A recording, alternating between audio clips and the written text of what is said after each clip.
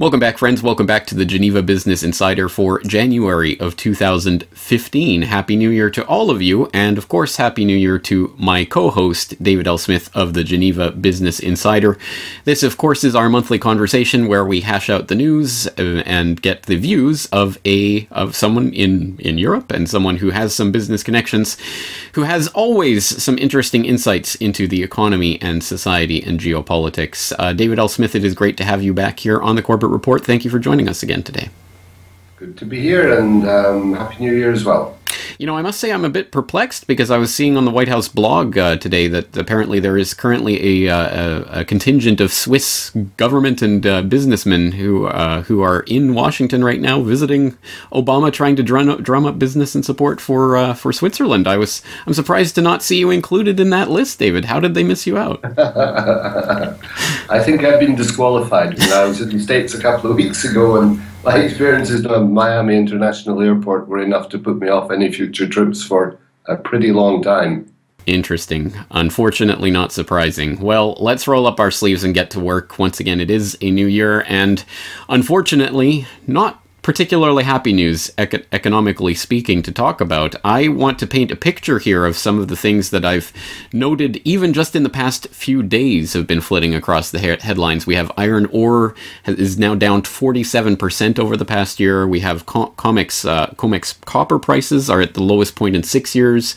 We have oil down $60 a barrel since June. China's PMI figures have hit their lowest in 18 months. Uh, real wages in Japan have been falling, falling for most of the past five years and show no sign of letting up. The UK has just experienced its slowest month of consumer price growth in over a decade, and my favorite, the Eurozone has now hit negative inflation. I think there's a word for that. I think it's deflation, the D word. And I think this is something that we're seeing across the board and is obviously starting to have significant effects on the markets. And we're seeing some uh, really amazing market volatility. I think in the last uh, 24 hours, something like a 940 point swing on the Dow between the, uh, the high and lows uh, in intraday trading. So we are starting to see some very significant effects playing out from this ve- general deflationary trend that's playing that's happening right now. And of course, as always, I mean, all eyes are on the oil price and uh, the way that's playing into the situation economically and geopolitically. This is where we left it off at the end of our last conversation last year, but I think it's important enough that we do consider what is happening right now. David, your take on on how, what is unfolding right now and where you think this is heading in the next few months. Mm, yeah, well, perhaps we shouldn't have started by saying Happy New Year. um, no, I, I, think what we're seeing, as you say, is, is, is there's a severe down, downturn in the economy. And of course, everything is being dressed up pretend to pretend that the economy is going okay, but the realities are there. And uh, oil prices have, have dropped massively.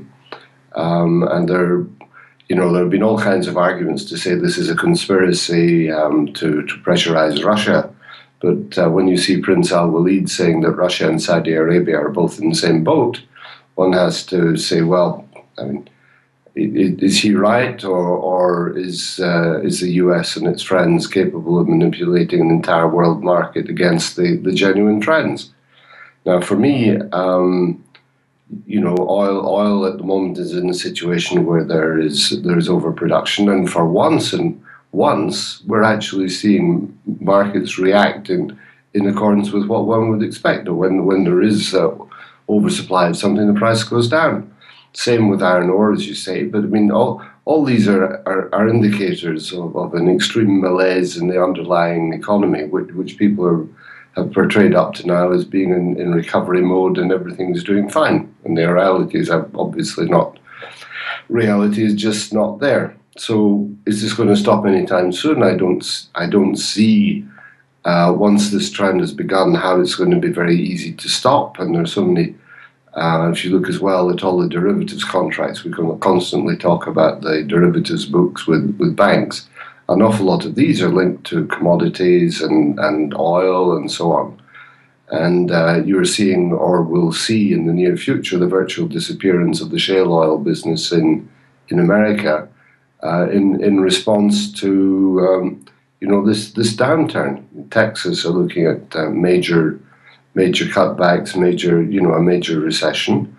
Uh, it's also going to impact massively the unemployment statistics in America because about the only jobs that have been created of any quality have been in the oil sector, and they are uh, now virtual jobs, and and uh, these markets turn extremely fast. I, I, knew a guy many years ago who was involved in this one in about 30 years ago in the downtown in in America, and in three months they went from being a very wealthy family to literally being on the street with nowhere to go, uh, with their mortgage being called, etc., etc. So there is swift retribution for the, uh, in in the U.S. if you're on the wrong side of this. Um, you know, you've been talking about Japan. I mean, all, all the efforts have been made for years and years and years and years to to stop the deflationary trends in in Japan.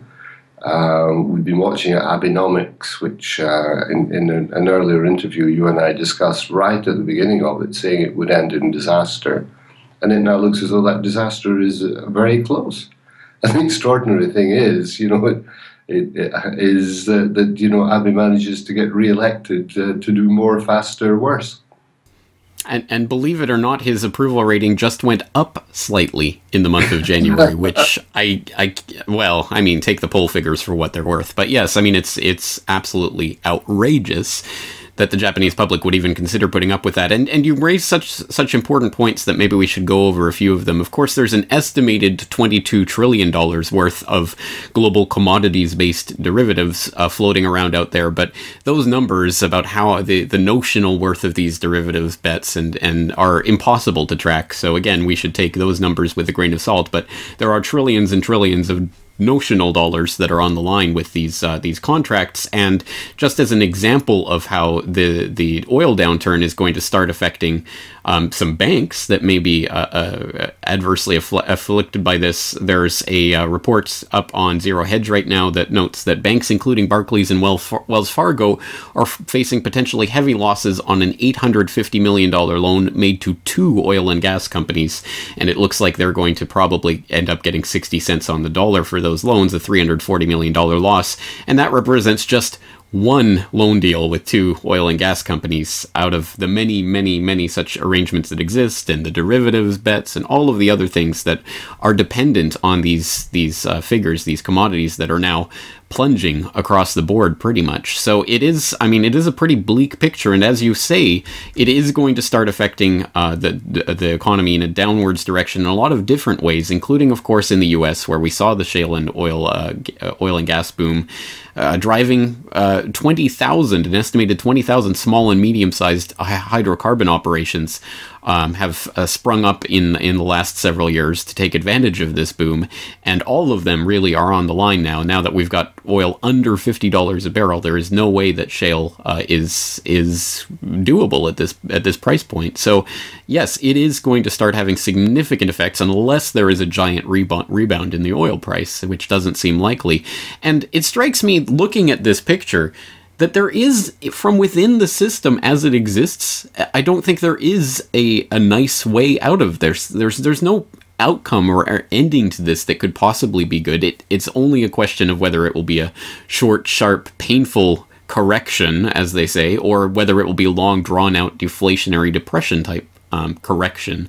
And i don't see from the, the structural side of this how it could play out differently unless you have a different take on that. Mm. Well, I, just make one observation. I, I think that um, at, at, every market price, there there is an equilibrium of winners and losers. So when the price comes down, it, it kills kills the American business. Um, but um, lots of people will be making money by shorting that business anyway. So the investment banks don't really care whether gold is going up or going down or whatever the price is. And what does happen is when the price goes down, is uh, you know a few hundred thousand or a few million people lose their jobs. But it, once again, the investment bankers don't care at all about that, and uh, it means that the reserves that do exist in America remain in the ground. Whereas if you look on the other side of the world, you see countries like like Russia or um, or Saudi Arabia. And uh, the more the price falls, the more they have to pump because essentially they want to maintain they want to maintain their, their, their tax revenues. So if they drop the price 10% and sell 20% more, then that's fair enough. So what it is, it's a it creates an unbalanced depletion of of uh, oil reserves on, on a global basis. And ultimately, you know, the, the higher cost pr- producers are on the winning side of that because if the price comes back up again, then America will simply, you know, wind up their, their nodding donkeys in Texas and pump out some more some more oil. So it, it is, you know, there are winners, the winners and losers on it. But uh, the, the overall short-term trend, I, I don't see how it can rebound because for it to rebound, there has to be some major shift in the amount of demand. And of course, the world economy is just not there to provide it. And the speculators are, who have assumed that the prices remain high have all been burnt and are being forced out of their positions. So I think it's, it's down for now, and it'll be down for a good long time. And that will cause grief and pain to a lot of people.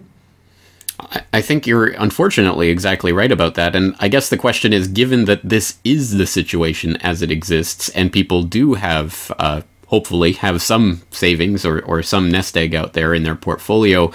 What do people do in a deflationary uh, environment to try to protect that wealth? Mm. Well, as I said before, deflation is not all bad. It depends on what circumstances, personal circumstances you're in. For the real little guy who's living in state housing and see, sees deflation, it means that his, his wage check is going to go further. But for anyone who is in a kind of, um, you know, middle middle situation where, where he has got uh, you know his his mortgage to pay uh, and all the rest of it. Deflation is an ex- extremely nasty experience because it, and uh, it's not just the fact that someone's net worth goes down, but if your net worth goes down way below the value of your house, you can no longer sell your house because you have to you know declare bankruptcy at that point. So it paralyzes the the real estate market very very effectively. Um, and uh, you know most most people's balance sheets deteriorate pretty, rapidly in those circumstances because of the level of gearing. So the the problem actually is not deflation. Deflation per se is not so terrible. It, it, it is the associated debt that caused the problem, and this is bankers. Once again, they don't they don't care if there's def, deflation or inflation. Their their their problem is what happens to the bank's balance sheet when there is deflation, and how does that hit hit their you know, hit their, their clients. And the more debt that you pump into the system, uh, you know, the, the, more severe the reversal is. Because if a guy has got a house where he's got 10% equity and the price drops 20%, he, he he's wiped out. So there, there's nowhere to go, and we're back to handing keys in. And th- this deflation is what they basically, when excuse me, when the collapse happened a number of years back, I mean, it, it was um, all of the pumping of the money to reblow the bubble was to try and make sure that asset values stayed high enough to make sure that the banks were solvent. And that, of course, pumped wealth into the pockets of the people who had who had rich who were rich in the first place in, in order to you know to cover the bank's lo- genuine losses. And and ultimately uh, I I think we'll end up in a in a deflationary collapse when when they're you know the the tools used by the central bank to inflate inflate the world economy cease to work, and then you look at how bad will that collapse be, and you say, well, every penny that's on the balance sheets of these banks basically represent unrecorded losses. So it's going to be a pretty horrendous crash when it comes along. Not a pretty picture, and again, I think it is important to keep in mind this is probably, in a deflationary cycle, is the worst time to be going into long-term debt, like a mortgage or what have you, because precisely as you say, the uh, the, the, dollars will uh, will go further, but the debt will uh, cost more in the long run. So, uh, so in fact, strangely enough, sitting in even in cash would be relatively better at this stage of the game, as long as the deflationary cycle continues. I guess the point is getting out of that uh, that's that that uh, divestment of the portfolio at the right time. Mm-hmm. Yeah. Yes, indeed. Okay, all right. Well, let's let's leave that there. I'm sure this is a topic we're going to be returning to in various ways throughout the year, so look forward to that in 2015. Let's move to another subject, which also is not necessarily good news. Um, President Obama, for those keeping track at home, just announced his new cybersecurity proposal, which he launched at something called the National Cybersecurity and Communications Integration Center. Very Orwellian in and of itself. And uh, this legislation, for those who haven't read it yet, that basically uh, the uh, the fact sheet on White House, the White House blog contains a lot of feel good, flowery rhetoric about expanding broadband access and uh, and of course Obama's net neutrality plan because the former cable TV and telecoms operate uh, lobbyist who is currently the chief of the FCC really is working in the best interests of the corporate. I mean, the public, the public that he represents, right? No, um, I mean, there are obviously problems with that, but unfortunately, this cybersecurity proposal also contains even uh, more uh, worrying uh, talk about basically f- encouraging companies to, and, and allowing companies to share various information on their customers with the DHS and their alphabet soup brethren um, to try to combat the cyber threat. And wouldn't you know it, lo and behold, we'll, we'll pick this up from uh, a, an article President Obama's new cybersecurity proposal is already facing skepticism that says Obama's proposal comes amid, amid a week of announcements from the administration dealing with data security and more troubling headlines. On Monday, the president announced a plan to combat identity theft and improve student privacy, a speech that was quickly followed by the simultaneous hack of U.S. Central Command's Twitter and YouTube accounts by Islamic State sympathizers.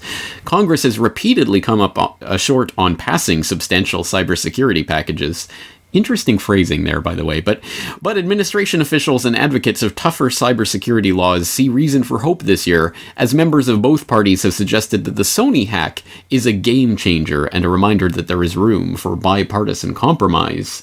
And of course, that raises the specter of the Sony hack, which was immediately blamed on North Korea and has now quietly been mostly retracted. But hey, who follows the retractions? Let's just follow the headlines. So, uh, so David Smith, your your take on what's happening right now with regards to this and what it portends for the future of well programs like this one. Well, I, I think the, fu- the future is pretty clear. There is more and more state control and what, what we're seeing in, in everything that's done by the government is the old marketing uh, axiom of uh, exaggerate the problem and try to provide the solution, or uh, don't let uh, a good problem go to waste. So it, it is nothing more than that. everything is it, it is an orchestrated game, and uh, the objective is to lull people into into the trap of um, thinking the government can help the, help solve the problem, and here, my goodness me, we've just found the solution, and oh, isn't that so nice? Both parties are going to work together on it. Now, isn't it just and they and then they go off peacefully into the sunset, you know, holding hands with, the John Wayne music playing in the background, and everything's absolutely wonderful. And uh, you know, I'm not an expert in the cybersecurity area. I my my only concern is, as you say, that you know pro- pro- programs like ours continue to get aired, and and uh, but bit by bit, or, what the objective is is to edit out all of these distractions, and uh, the, the the essential thing. The more I think about the operation of the the mass media, uh, it is intended for the masses um, and the government know that there is an element of the population that they cannot actually intellectually subjugate by pumping out whatever is on CNN or, or any of the other NBCs or the, any of these other pathetic excuses for media information sources.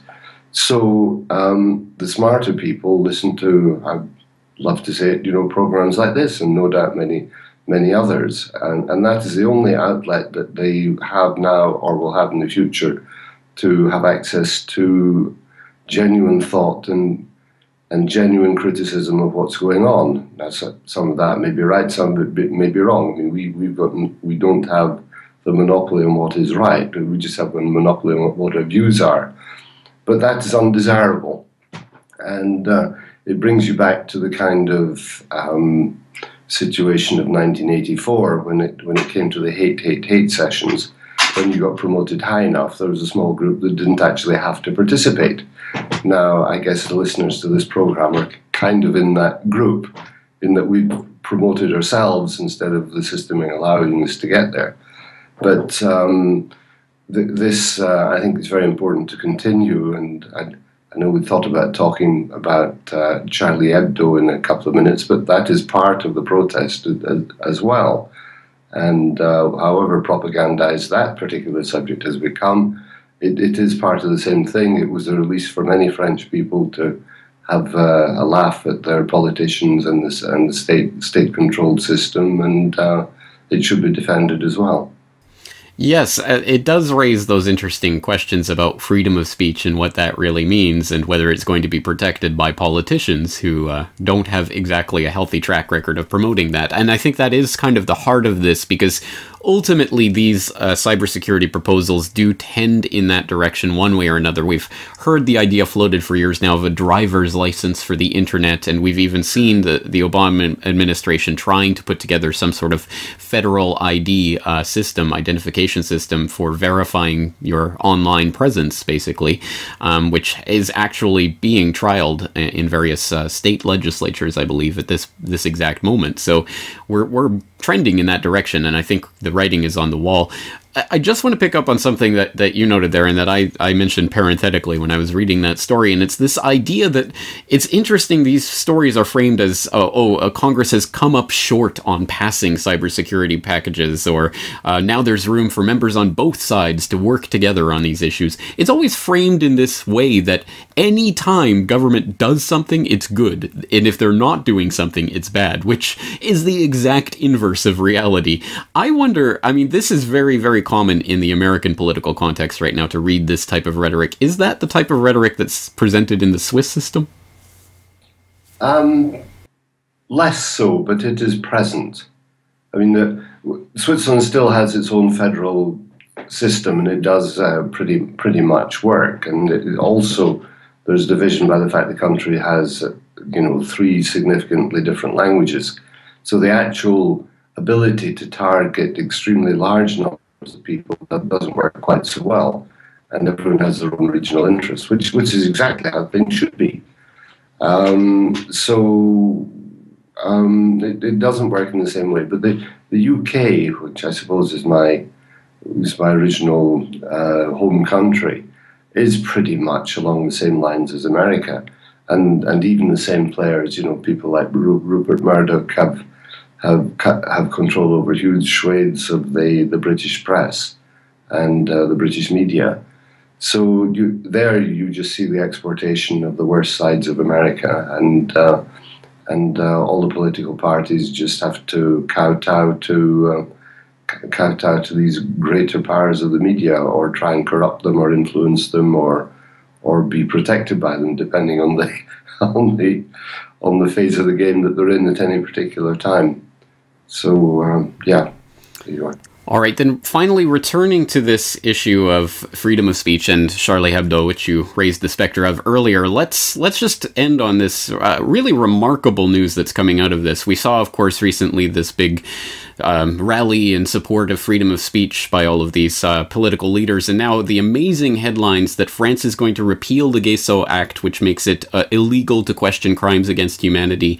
Um, and that's being followed by Germany, Austria, all of the European countries that make it illegal in one way or another to raise questions, for example, about the Holocaust, because all of these people care so much about freedom of speech oh wait, sorry, that's completely made up. Of course that's not happening because freedom of speech only applies in politically convenient uh, uh, situations. And of course what we're seeing right now is hypocrisy on a ridiculous scale um, that's happening right now. And once again, politicians parading on corpses to further their own political agendas, which tends to be the clash of civilizations narrative, which is now being, uh, I think, kicked into high gear by the events in Paris over the past couple of weeks. And of course, uh, one of the best examples of this is a new op ed in the Wall Street Journal from our old friend Joe Lieberman, who is now saying uh, basically, yes, we must turn this into a global war on radical Islam.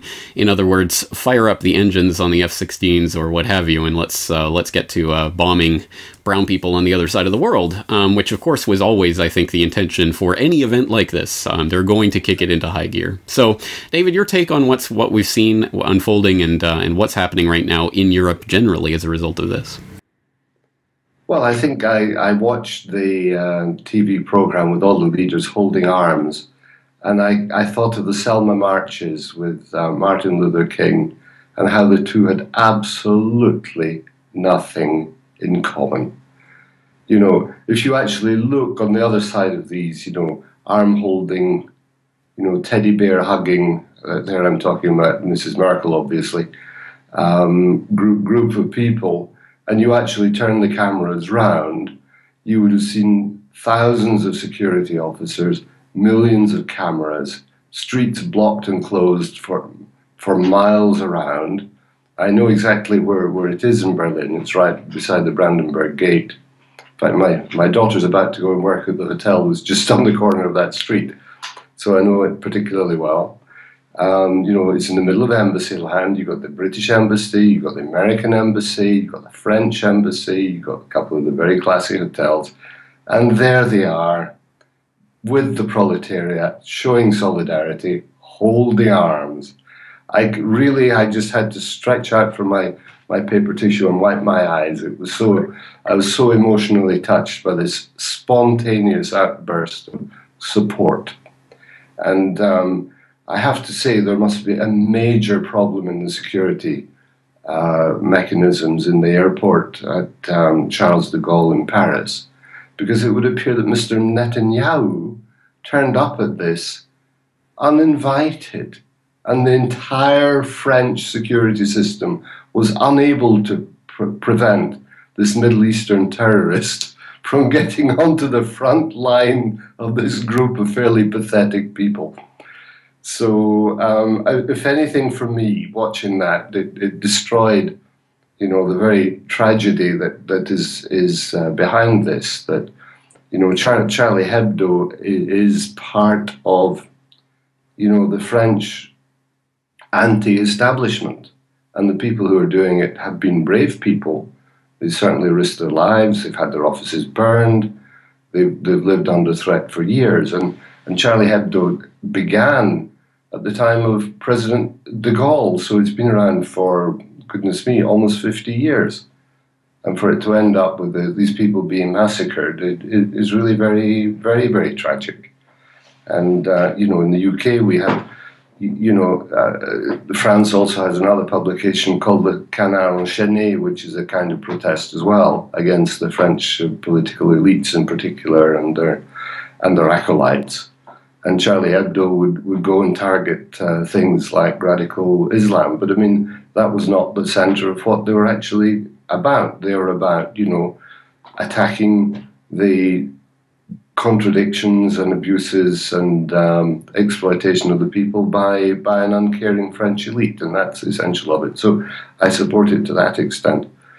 And uh, I hope that um, they will continue doing it, and hopefully, without this sickening um, as you say, crawling over dead bodies uh, game that is being played by the politicians. Well, I'm sure you've just un unleashed a, uh, a, a, a, torrent, a firestorm of, of, controversy over even saying things of that sort. Um, and there's a lot to be said about that. I mean, in, with, even with regards to Charlie Hebdo, I think it isn't the same organization that it was when it began. There was a change in editorial uh, leadership and in ownership that in recent years that I think has changed its uh, direction and made it more into a, a more of a Zionist type entity entity than it was before. So I think there are questions about that. And regardless, I think for me the point isn't that I agree with anything or everything or any bit or any particular thing that they did or didn't say or do. Um, the point is, if you are for freedom of speech, you are for freedom of speech, whether it's people making fun of Islam or people making fun of Judaism or any other religion or any other thing in under the sun. It does not mean you support what they are saying. It means you support their right to say it. And of course, that is the fundamental hypocrisy that we're not going to see reflected in the "we are Charlies" of uh, of the, uh, the, the politician class. Um, but let's let's talk for a moment then, just finally here about the the the inflamed tensions that obviously events like this cause. Uh, again, regardless of what actually happened with this event or who was actually behind it, which I think there are still some some obvious uh, questions about. But um, obviously, this does touch on a very raw nerve for a lot of Europeans, including in Switzerland. Um, tell us about the the sort of the, the reaction that people are having in in terms of uh, the, the the way this feeds into that clash of civilizations narrative. Well, um, it, it's not that's not such an easy question to answer. I I, I think from you know the the part of Switzerland I live in is very, very closely linked to France. It's French speaking, and if there is no orientation anywhere outside the country as to what's happening in Paris, apart from people who are in international business and so on. So this is a, a major event, and it's a kind of, you know, Charlie Hebdo's a kind of thing that people here on the on the fringes would be be reading as well. Um, but we're, we're we're watching, you know, an anti-Islam movement. Then we're seeing, you know, the the, the other event where uh, you know there were killings in a in a Jewish kosher um, supermarket store. Uh, and obviously, all of these things once again are being rolled out as you know we have to we have to act.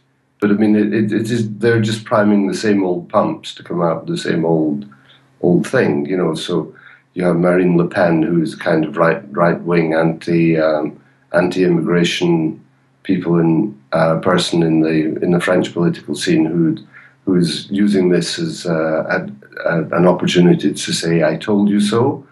Uh, the Jewish lobby are saying, you know, here we are, we're being targeted yet again, poor us. Um, so it, it is it is just the, the, it's the same old same old I think in terms of, of, of, reactions, and it's all completely predictable. And then of course you you ask the terrible question of who's actually behind all of this, and uh, you you see people such as Erdogan, who's the president of uh, Turkey, saying this smells of of uh, Mossad inter- intervention, uh, you know, and Secret Service intervention. There's not nothing uncoordinated about it, and then of course there's a great scandal of what a terrible thing for him to say. But you know, is it the truth? I don't know. But I mean, it, it certainly there there are lots of arguments that could say that would make imminent sense. So I, I think we'll continue to see. I mean, these, these are all kind of mini 9/11s, which are just you know, just uh, used to, you know, keep the pot warm and keep stirring the same old things over, anti-Islam, uh, you know, uh, anti-Semitic, you know, all, all of these things are just bubbling under the surface and, and politicians love it.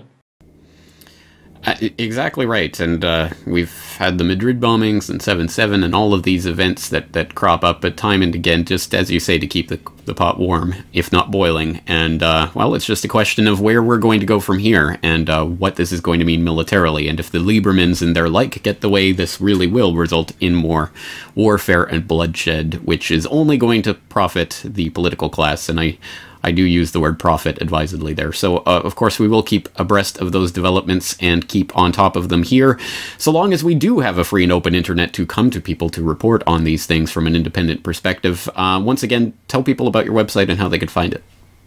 Yeah, my website, uh, the Geneva Business Insider. I run a small independent consulting firm, financial consulting firm.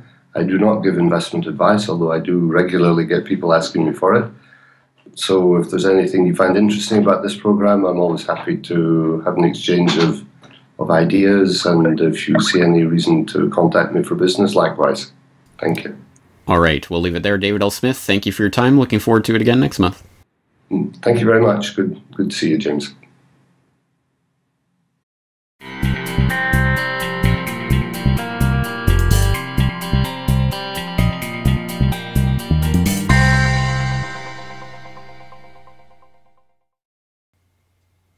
Welcome back, friends. Welcome back to the Geneva Business Insider for January of 2015. Happy New Year to all of you, and of course, Happy New Year to my co host, David L. Smith of the Geneva Business Insider.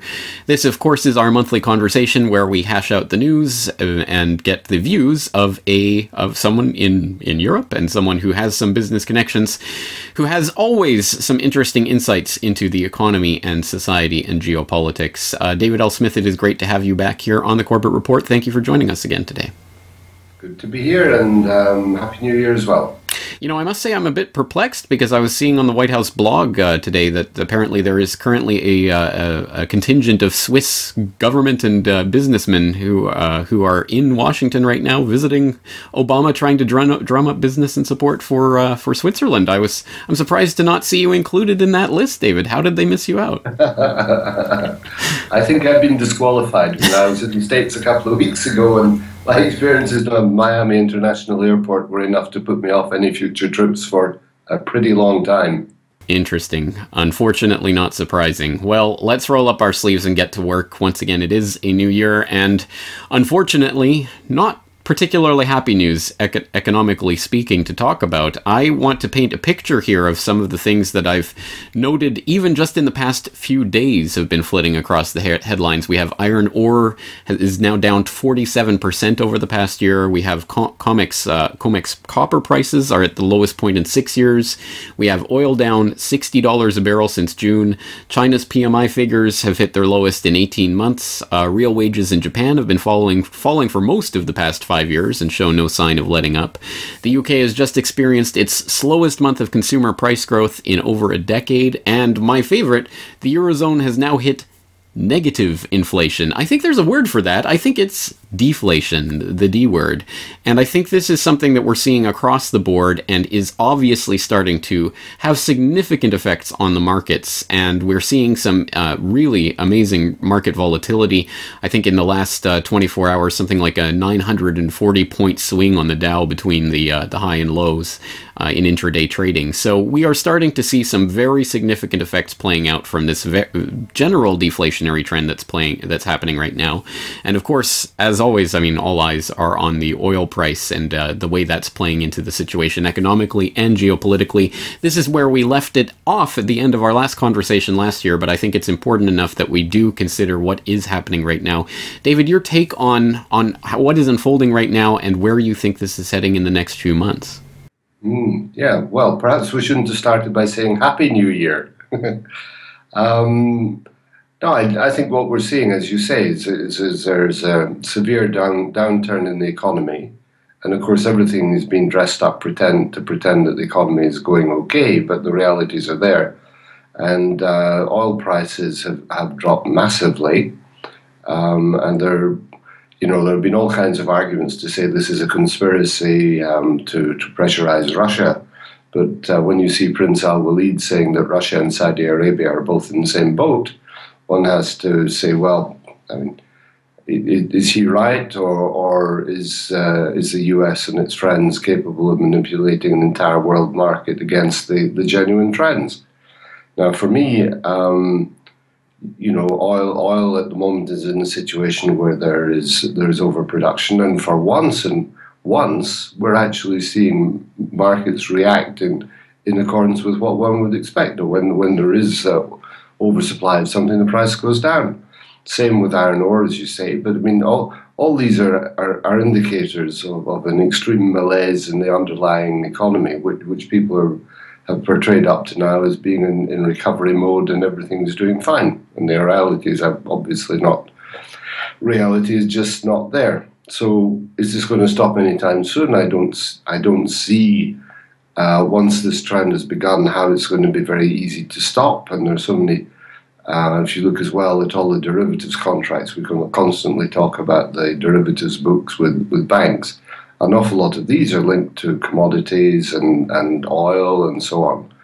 And uh, you're seeing, or will see in the near future, the virtual disappearance of the shale oil business in, in America uh, in, in response to um, you know, this, this downturn. Texas are looking at uh, major, major cutbacks, major, you know, a major recession. Uh, it's also going to impact massively the unemployment statistics in America because about the only jobs that have been created of any quality have been in the oil sector, and they are uh, now virtual jobs, and and uh, these markets turn extremely fast. I, I, knew a guy many years ago who was involved in this one in about 30 years ago in the downturn in, in America. And in three months, they went from being a very wealthy family to literally being on the street with nowhere to go, uh, with their mortgage being called, etc., etc. So there is swift retribution for the, uh, in in the U.S. if you're on the wrong side of this. Um, you know, you've been talking about Japan. I mean, all, all the efforts have been made for years and years and years and years to to stop the deflationary trends in in Japan. Um, we've been watching Abenomics, which uh, in, in an, earlier interview you and I discussed right at the beginning of it, saying it would end in disaster. And it now looks as though that disaster is uh, very close. And the extraordinary thing is, you know, it, it, it is that, that, you know, Abe manages to get re-elected uh, to do more, faster, worse. And, and believe it or not, his approval rating just went up slightly in the month of January, which I, I, well, I mean, take the poll figures for what they're worth. But yes, I mean, it's it's absolutely outrageous that the Japanese public would even consider putting up with that. And and you raise such such important points that maybe we should go over a few of them. Of course, there's an estimated 22 trillion dollars worth of global commodities-based derivatives uh, floating around out there, but those numbers about how the the notional worth of these derivatives bets and and are impossible to track. So again, we should take those numbers with a grain of salt, but there are trillions and trillions of notional dollars that are on the line with these uh, these contracts. And just as an example of how the the oil downturn is going to start affecting um, some banks that may be uh, uh, adversely affl- afflicted by this. There's a uh, report up on Zero Hedge right now that notes that banks, including Barclays and Wells Fargo, are f- facing potentially heavy losses on an $850 million loan made to two oil and gas companies. And it looks like they're going to probably end up getting 60 cents on the dollar for those loans, a $340 million loss. And that represents just one loan deal with two oil and gas companies out of the many, many, many such arrangements that exist, and the derivatives bets, and all of the other things that are dependent on these these uh, figures, these commodities that are now plunging across the board pretty much. So it is, I mean, it is a pretty bleak picture. And as you say, it is going to start affecting uh, the, the economy in a downwards direction in a lot of different ways, including, of course, in the U.S., where we saw the shale and oil, uh, oil and gas boom, uh, driving uh, 20,000, an estimated 20,000 small and medium-sized hydrocarbon operations um, have uh, sprung up in in the last several years to take advantage of this boom, and all of them really are on the line now. Now that we've got oil under fifty dollars a barrel, there is no way that shale uh, is is doable at this at this price point. So, yes, it is going to start having significant effects unless there is a giant rebound rebound in the oil price, which doesn't seem likely. And it strikes me looking at this picture that there is from within the system as it exists i don't think there is a, a nice way out of this. There's there's no outcome or ending to this that could possibly be good. It, it's only a question of whether it will be a short sharp painful correction as they say or whether it will be long drawn out deflationary depression type um, correction. And i don't see from the, the structural side of this how it could play out differently unless you have a different take on that mm. Well, I, I just make one observation. I, I think that um, at, at, every market price, there there is an equilibrium of winners and losers. So when the price comes down, it, it kills kills the American business. Um, but um, lots of people will be making money by shorting that business anyway. So the investment banks don't really care whether gold is going up or going down or whatever the price is. And what does happen is when the price goes down, is, uh, you know, a few hundred thousand or a few million people lose their jobs. But it, once again, the investment bankers don't care at all about that. And uh, it means that the reserves that do exist in America remain in the ground. Whereas if you look on the other side of the world, you see countries like, like Russia or, um, or Saudi Arabia. And uh, the more the price falls, the more they have to pump because essentially they want to maintain they want to maintain their, their, their tax revenues. So if they drop the price 10% and sell 20% more, then that's fair enough. So what it is, it's a, it creates an unbalanced depletion of, of uh, oil reserves on, on a global basis. And ultimately, you know, the, the higher cost pr- producers are on the winning side of that because if the price comes back up again, then America will simply, you know, wind up their, their nodding donkeys in Texas and pump out some more some more oil. So it, it is, you know, there are winners, the winners and losers on it. But uh, the, the overall short-term trend, I, I don't see how it can rebound, because for it to rebound, there has to be some major shift in the amount of demand. And of course, the world economy is just not there to provide it, and the speculators are who have assumed that the prices remain high have all been burnt and are being forced out of their positions. So I think it's, it's down for now and it'll be down for a good long time. And that will cause grief and pain to a lot of people. I think you're unfortunately exactly right about that. And I guess the question is given that this is the situation as it exists, and people do have, uh, hopefully, have some savings or, or some nest egg out there in their portfolio, what do people do in a deflationary uh, environment to try to protect that wealth? Mm. Well, as I said before, deflation is not all bad. It depends on what circumstances, personal circumstances you're in. For the real little guy who's living in state housing and see, sees deflation, it means that his, his wage check is going to go further. But for anyone who is in a kind of, um, you know, middle middle situation where, where he has got, uh, you know, his his mortgage to pay uh, and all the rest of it, deflation is an ex- extremely nasty experience because it, and uh, it's not just the fact that someone's net worth goes down, but if your net worth goes down way below the value of your house, you can no longer sell your house because you have to, you know, declare bankruptcy at that point. So it paralyzes the the real estate market very, very effectively. Um, and uh, you know, most most people's balance sheets deteriorate pretty rapidly in those circumstances because of the level of gearing.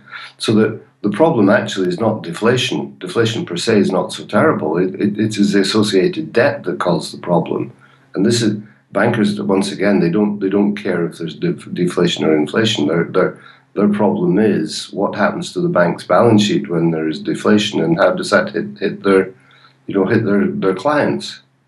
And the more debt that you pump into the system, uh, you know, the, the more severe the reversal is. Because if a guy has got a house where he's got 10% equity and the price drops 20%, he, he he's wiped out. So there, there's nowhere to go, and we're back to handing keys in. And th- this deflation is what they basically, when excuse me, when the collapse happened a number of years back, I mean, it, it was um, all of the pumping of the money to reblow the bubble was to try and make sure that asset values stayed high enough to make sure that the banks were solvent.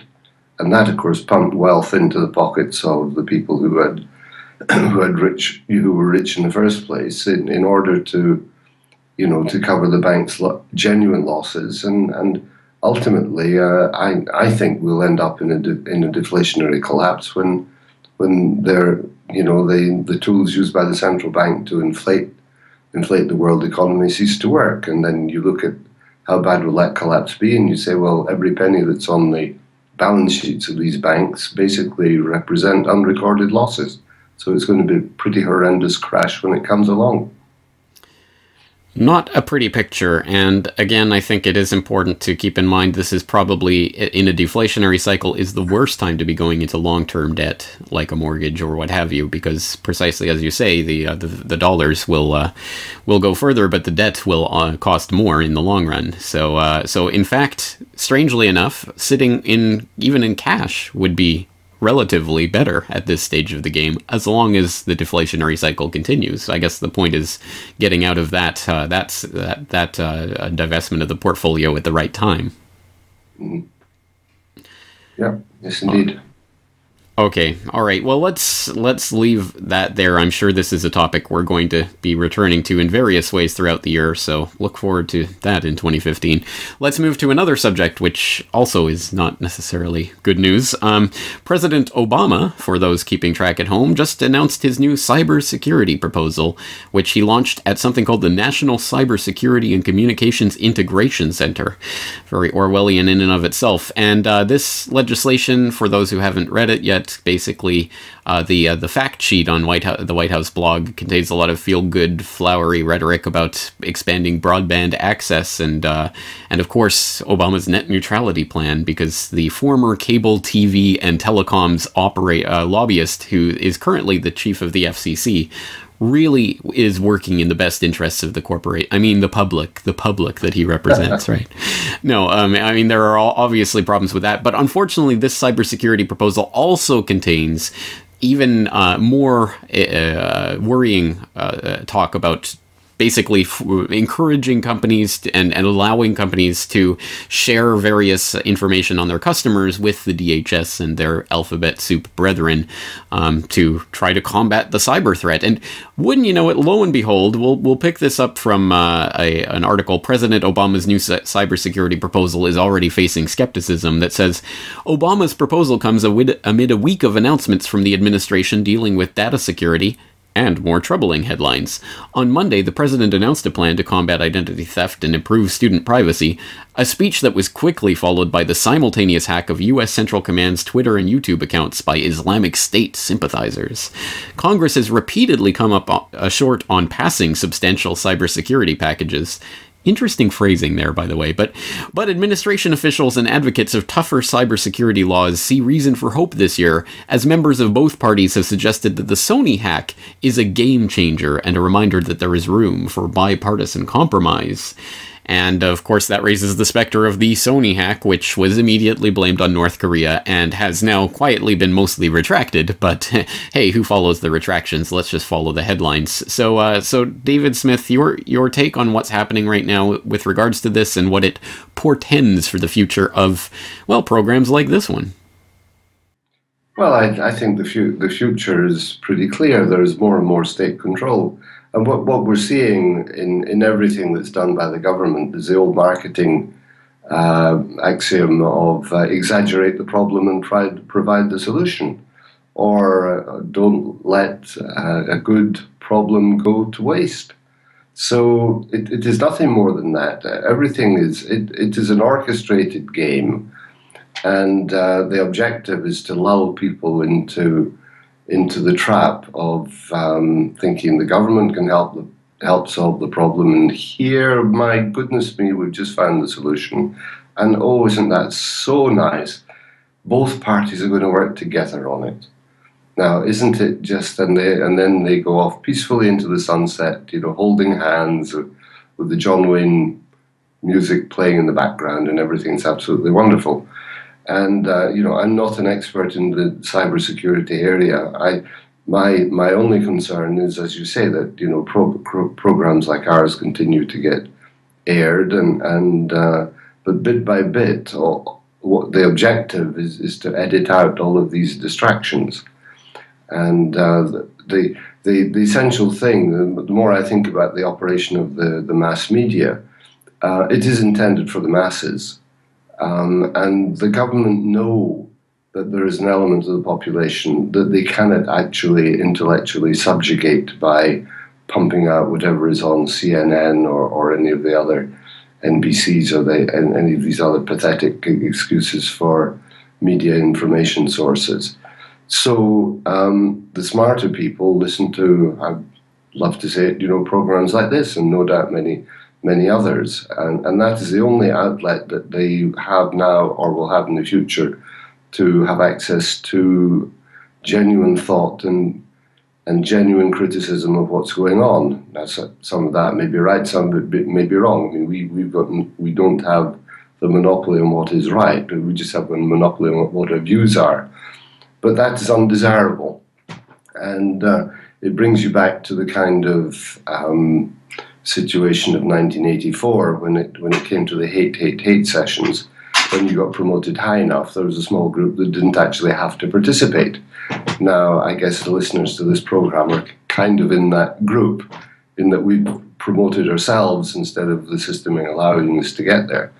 But um, th- this uh, i think is very important to continue and I'd, I know we thought about talking about uh, Charlie Hebdo in a couple of minutes, but that is part of the protest as, well. And uh, however propagandized that particular subject has become, it, it is part of the same thing. It was a release for many French people to have uh, a laugh at their politicians and, this, and the state state controlled system, and uh, it should be defended as well.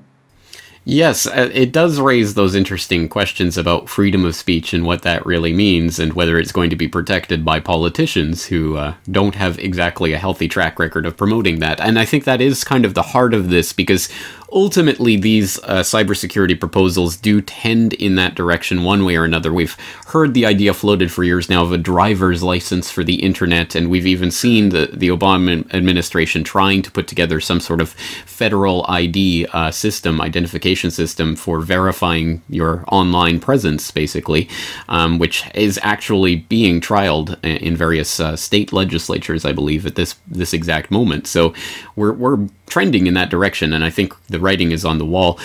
I just want to pick up on something that, that you noted there and that I, I mentioned parenthetically when I was reading that story. And it's this idea that it's interesting these stories are framed as, uh, oh, uh, Congress has come up short on passing cybersecurity packages, or uh, now there's room for members on both sides to work together on these issues. It's always framed in this way that any time government does something, it's good. And if they're not doing something, it's bad, which is the exact inverse of reality. I wonder, I mean, this is very, very common in the American political context right now to read this type of rhetoric. Is that the type of rhetoric that's presented in the Swiss system? Um, less so, but it is present. I mean, the, Switzerland still has its own federal system, and it does uh, pretty pretty much work. And it also there's division by the fact the country has, uh, you know, three significantly different languages. So the actual ability to target extremely large numbers of people that doesn't work quite so well, and everyone has their own regional interests, which which is exactly how things should be. Um, so um, it, it, doesn't work in the same way. But the the UK, which I suppose is my is my original uh, home country, is pretty much along the same lines as America, and and even the same players. You know, people like Rupert Murdoch have have have control over huge swathes of the the British press and uh, the British media. So you, there you just see the exportation of the worst sides of America, and uh, and uh, all the political parties just have to kowtow to uh, kowtow to these greater powers of the media, or try and corrupt them, or influence them, or or be protected by them, depending on the on the on the phase of the game that they're in at any particular time. So um, yeah, are. All right, then finally returning to this issue of freedom of speech and Charlie Hebdo, which you raised the specter of earlier, let's let's just end on this uh, really remarkable news that's coming out of this. We saw, of course, recently this big um, rally in support of freedom of speech by all of these uh, political leaders, and now the amazing headlines that France is going to repeal the Gayssot Act, which makes it uh, illegal to question crimes against humanity, um, and that's being followed by Germany, Austria, all of the European countries that make it illegal in one way or another to raise questions, for example, about the Holocaust, because all of these people care so much about freedom of speech Oh, wait, sorry, that's completely made up. Of course, that's not happening because freedom of speech only applies in politically convenient uh, uh, uh, situations. And of course, what we're seeing right now is hypocrisy on a ridiculous scale um, that's happening right now. And once again, politicians parading on corpses to further their own political agendas, which tends to be the clash of civilizations narrative, which is now being, uh, I think, kicked into high gear by the events in Paris over the past couple of weeks. And of course, uh, one of the best examples of this is a new op ed in the Wall Street Journal from our old friend Joe Lieberman, who is now saying uh, basically, yes, we must turn this into a global war on radical Islam. In other words, fire up the engines on the F 16s or what have you, and let's, uh, let's get to uh, bombing brown people on the other side of the world, um, which of course was always, I think, the intention for any event like this. Um, they're going to kick it into high gear. So, David, your take on what's what we've seen unfolding and uh, and what's happening right now in Europe generally as a result of this.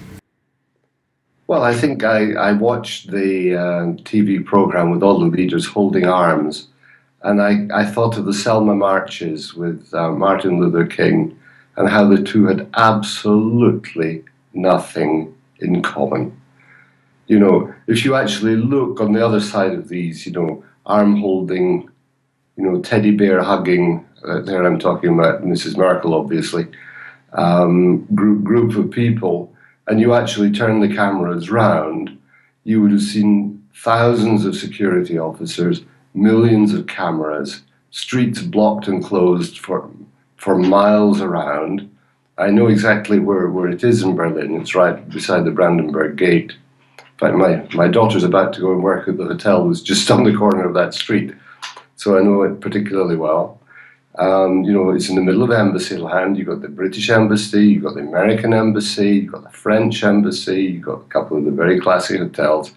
And there they are with the proletariat, showing solidarity, holding arms I really, I just had to stretch out from my, my paper tissue and wipe my eyes. It was so, I was so emotionally touched by this spontaneous outburst of support. And um, I have to say there must be a major problem in the security uh, mechanisms in the airport at um, Charles de Gaulle in Paris, because it would appear that Mr. Netanyahu turned up at this uninvited, and the entire French security system was unable to pre- prevent this Middle Eastern terrorist from getting onto the front line of this group of fairly pathetic people.